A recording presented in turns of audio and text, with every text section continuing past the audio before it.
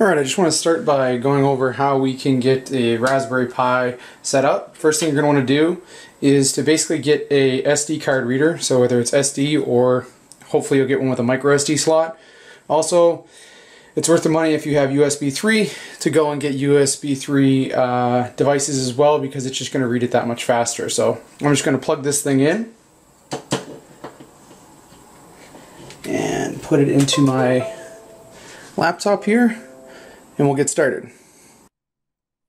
Okay, so now that we've plugged in our uh, media source or our SD card, uh, what we're going to do is now format the card. So what you're going to do is download SD card formatter. You can find uh, a link to the download uh, in the uh, comments and description below. Uh, what you're going to want to do is find, I mean, there could be a number of different ones here to choose from.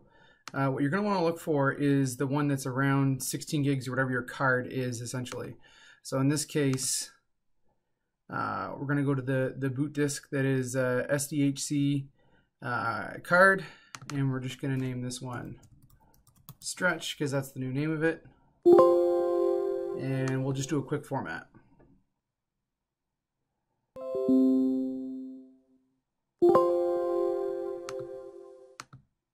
Uh, now that I've uh, completed this, what I am going to do is I'm going to open up Etcher. There's other systems you can use but I use this because it works on both Mac and on Windows, and it works equally as well on both, and it looks the same on both.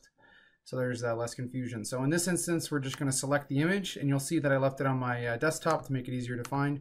Usually try and keep that clean, but for this video, we'll, we'll do it this way. Now open that up, and it's automatically selected what it thinks is the right one, but you can change this to whichever one you feel uh, works best or, or, the, or the right drive you're looking for. And then I'm just going to hit flash. Uh, I'm to hit yes, and then we're just going to wait for this process to complete. Uh, it's basically going to go through along here, and then you're going to see a validation process. Uh, this is the first time using uh, the USB 3, so hopefully it's a lot quicker than what I've been using. So we'll see that it's almost done validating here.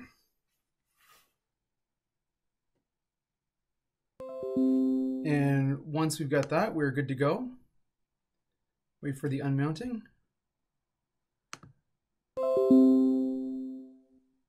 So now we have a successful, um, and if there's more that you want to do, uh, you can just flash another, uh, and then it'll bring you right back in, uh, which I will be doing next. Uh, so for right now, essentially what I'm going to do is I am going to take out this flash drive and then show you the next step of booting up for the first time. All right, so now we're going to uh, take our uh, adapter out. We're going to take out the uh, SD card and we're going to mount it or put it, install it into the Raspberry Pi. So you'll see in this case here, uh, it's basically going to go slide right in there. Uh, I can take this one apart here and show you a little bit easier how this works. But if I dismantle this, you'll see that it's just going right in there in that slot right there. So essentially what we're going to do, so I'm going to move this stuff out of the way. And I'm going to put this in right here. Slide that one in.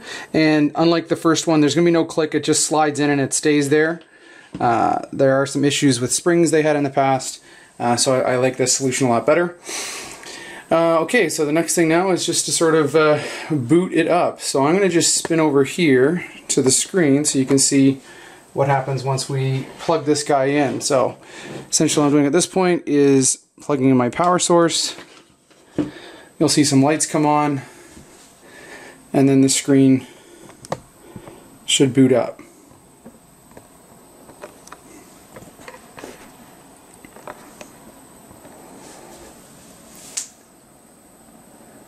Right now you'll see in the top left hand corner you'll see the uh, four raspberries which basically means this is a Raspberry Pi 3 Model B and we have a quad core for our processor and this is our little welcome message. Uh, on the top left you'll be getting some information just from Linux in terms of copyright, uh, the Linux system.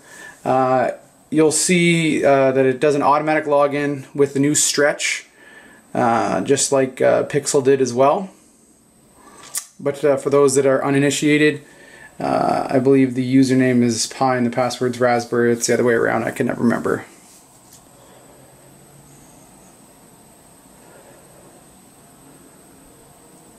Okay, so this looks quite similar to what we've seen in the past. Um, we'll just go up into the top right hand corner here and just see some of the things there. So let's start out by opening up this guy here.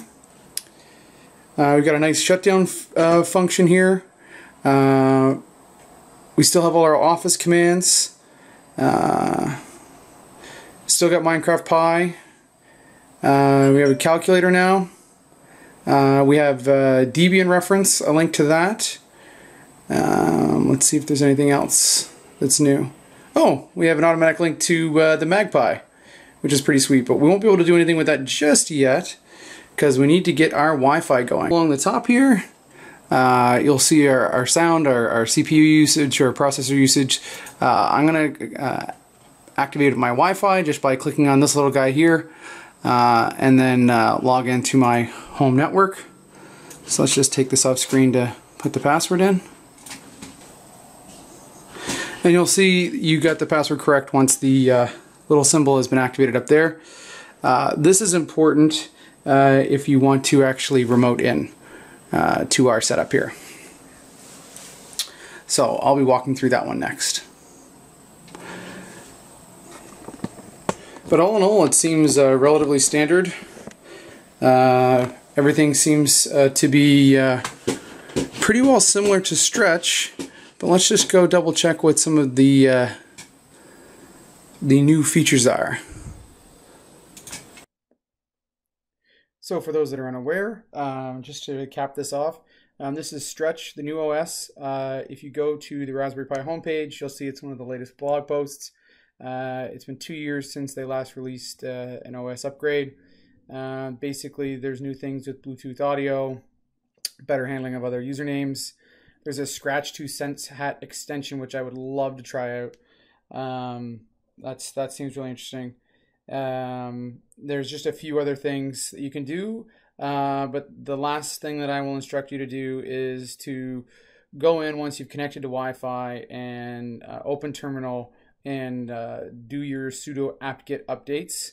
Uh, so these instructions are great here.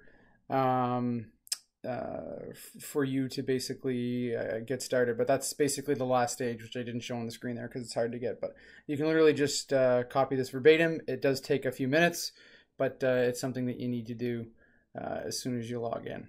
So that's basically it. That's uh, getting set up in a nutshell.